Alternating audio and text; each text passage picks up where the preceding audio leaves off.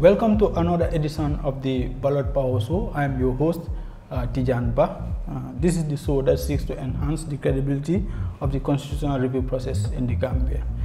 And with me to discuss on these issues is no other than Mr. Alhagie S. Nyang. Um, Alhagie S. Nyang is the national coordinator for Activista in the Gambia. So, Mr. Nyang, welcome to the Ballot Power Show.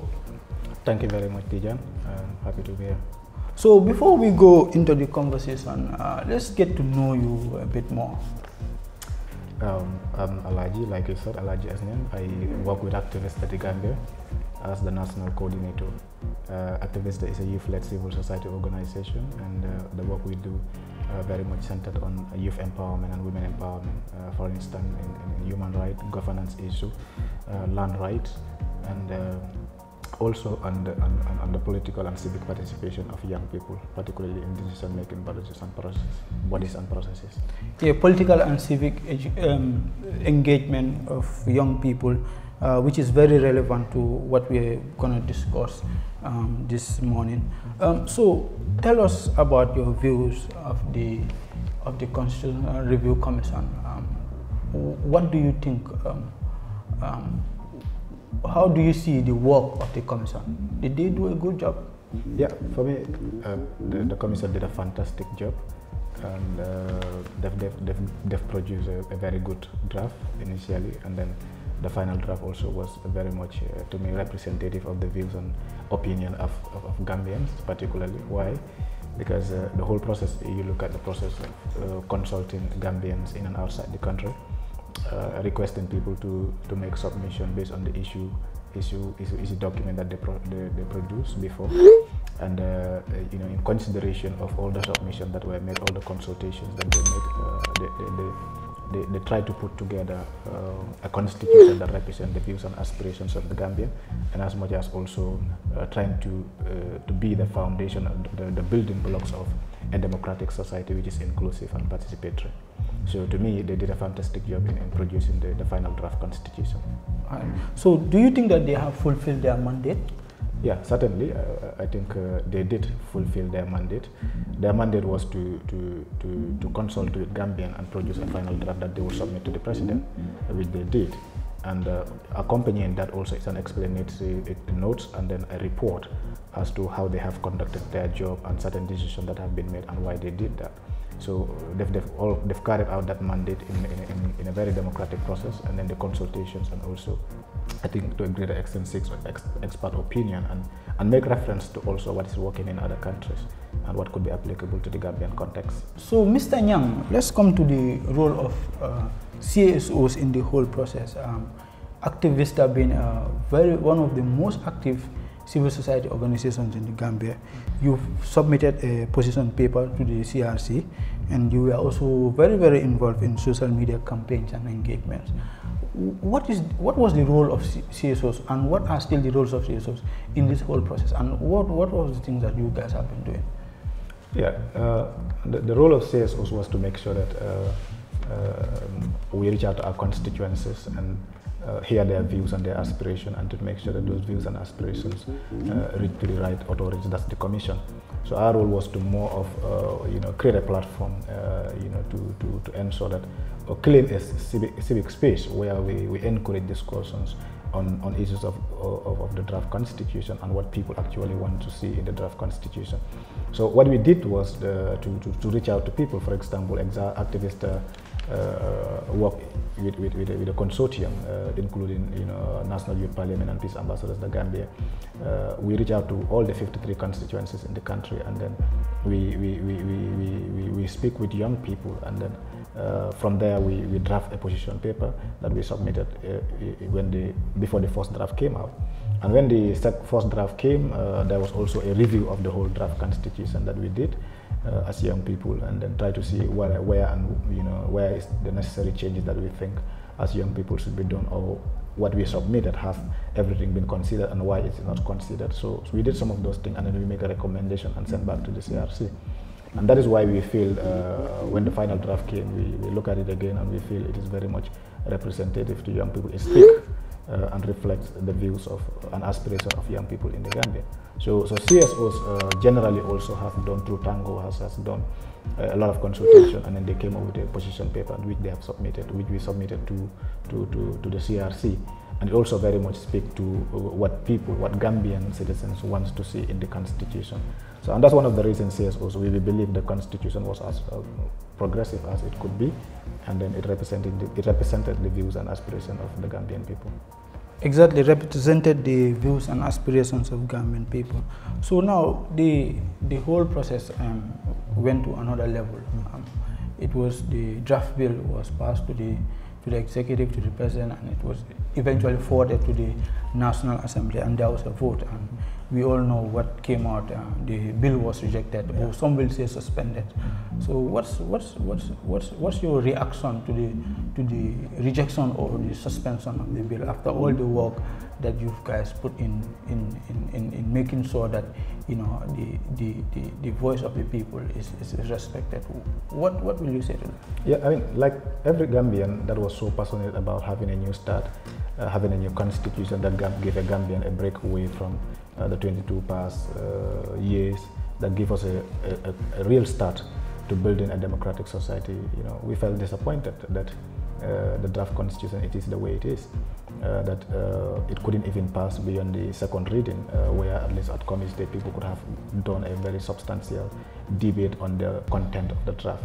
So it it it it it, it was the, to many of us it, it like it, it was very much uh, disappointing, but uh, we realized also it was more of a, you know a political issue, and uh, as civil society organization, we need to maybe you know uh, sit back and look at what could be done better and where uh, do we need to make much more consultation and process, you know at least uh, create more room for people to have a conversation on the draft constitution.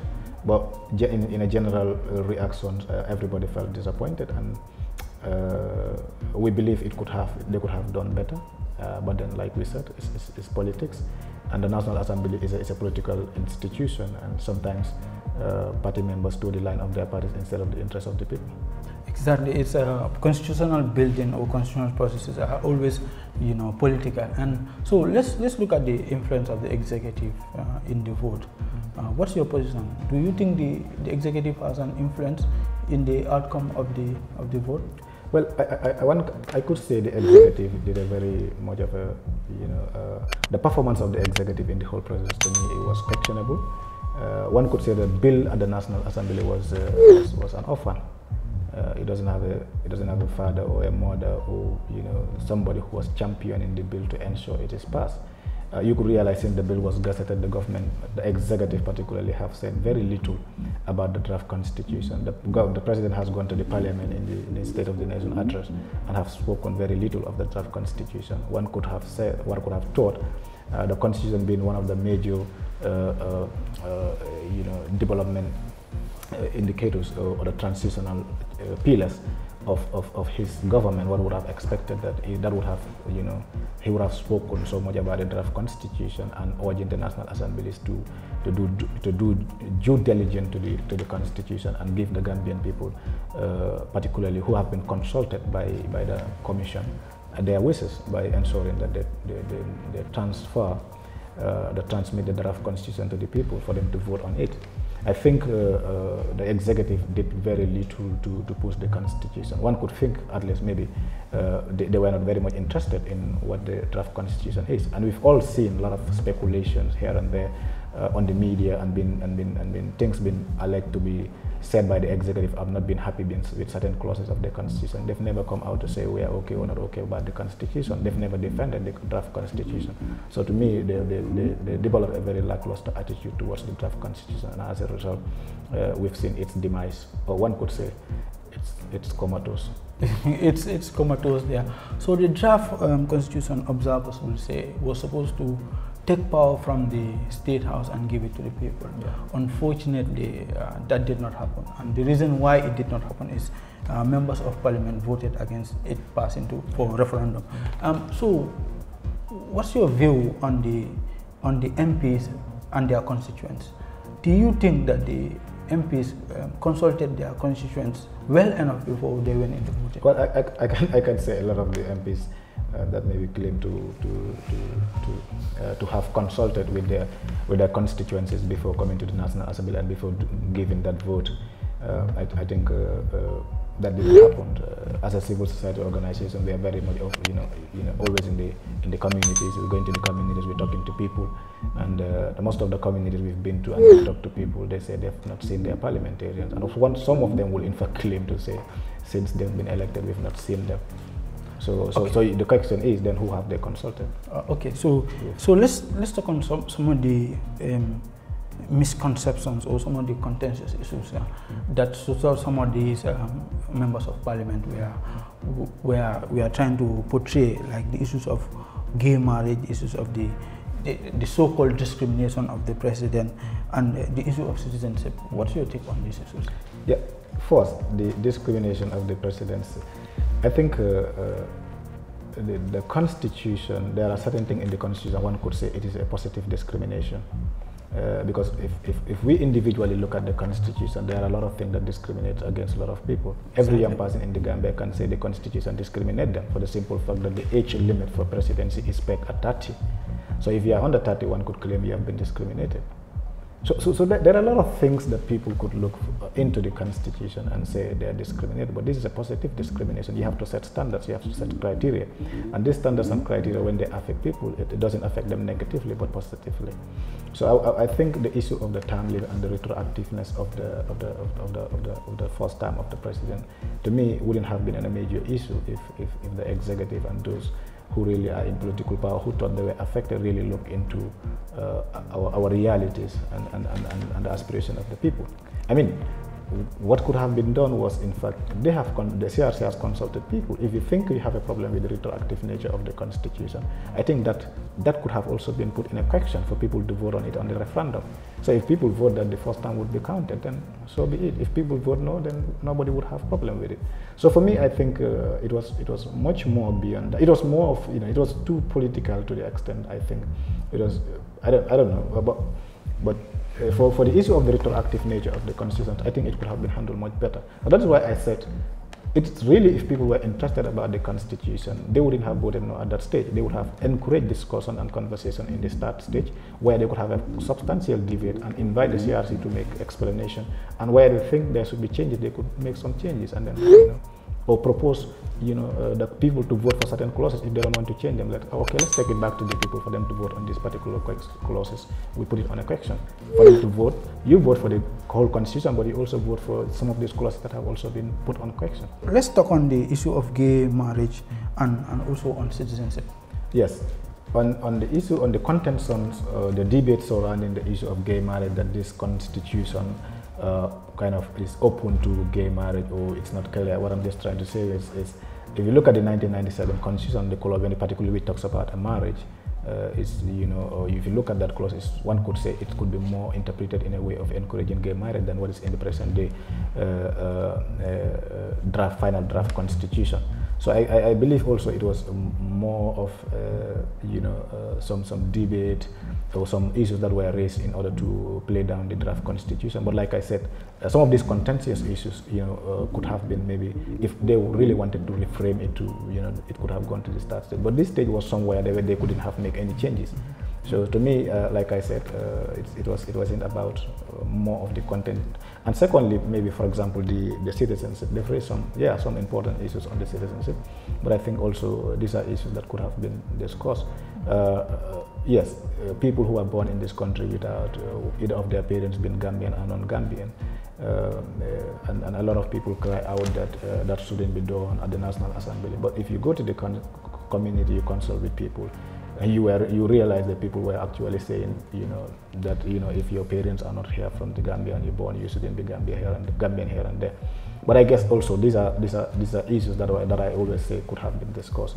So so to me uh, mm, uh, basically the, the vote surrounding the whole issue like if you look at the whole uh, uh constitution you're talking about over 200 and nine, you know 90 something over 200 you know clauses was you know in the constitution so if you have problem with three or four exactly, exactly. less than 10 percent 10 percent of the, the so the, let's let's talk on some of those um, have, you know, progressive clauses um, you know there are clauses uh, that that encourage and you know enhance you know, women representation, youth representation, uh, people with disabilities, and you know, the increased number of, of, of human and social rights. So, what are your take on this I mean, progressive Yeah, yeah, that's, that was one of the reasons people wanted, you know, uh, a new constitution, a constitution that would be more progressive and that would protect and promote uh, the rights of citizens. Uh, we've, we've, we've, we've, for so long complained about uh, the lack of women participation in decision-making bodies in the country.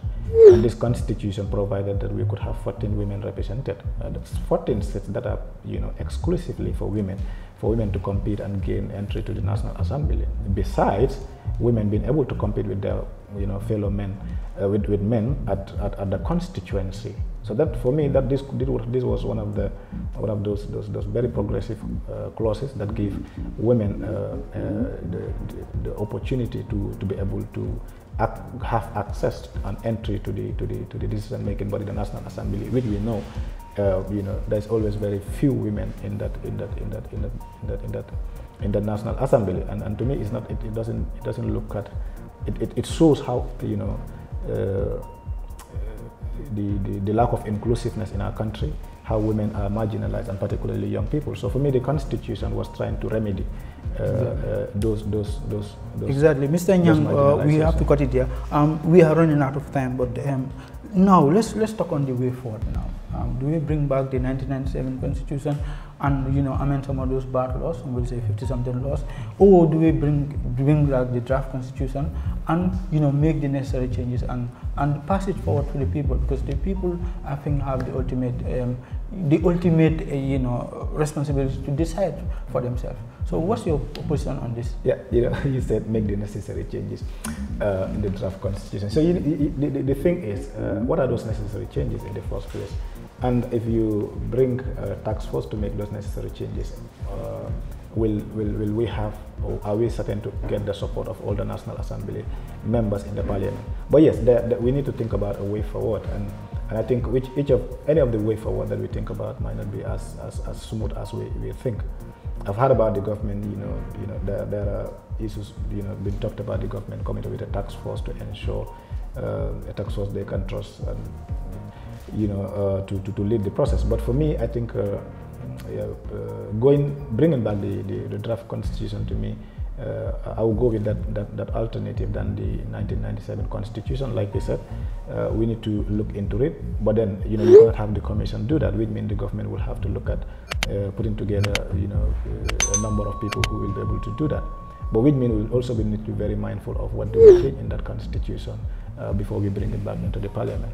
So which means also that that should include a very um, much national, a national dialogue, a consultation, of including all the stakeholders to bring them back to the table uh, to discuss on these issues and to ensure that we, we, we, we, we, we, we tread the political lines uh, you know, very carefully because uh, some of the issues that we debate or we talked about are very much political than it is uh, about the people. So we need to be able to ensure that the political parties, Uh, all the political parties, all the different stakeholders are bringing on a national dialogue and then you try to you know, make sure that people agree on certain standards. But even though we want to review the country, we want to make some changes, there are certain standards that shouldn't be compromised as it is stated in the CRC Act need to make sure that the integrity, the, the, the, the, principles that are enshrined within the constitution are, are, kept intact. That to the extent that you know, like people complain about too much rights, and I think that was the that was that was the point to ensure people have their rights. So if you want to bring back the constitution and you know maybe uh, cut down those rights, people wouldn't actually very much support it. So there are key principles that if you, we want to bring back the constitution, we make we need to make sure that they are protected, and the civil society can play a good role by ensuring that you know they, they also participate in bringing these different stakeholders together and try to, to mediate in bringing them uh, to, to, to discourse on a national dialogue and have an understanding or an agreement on key issues that we can bring back in the in the, in the, in the, in the, in the National Assembly. I guess if the government really want to, to work on that, uh, it looks like there is a little bit of time because the, the, referendum was scheduled on the 5th of June. June, exactly. And, and it just says within six months. So even if the draft constitution was, was, was ready few months uh, before June, the, the, the, IEC could still be able to conduct a referendum.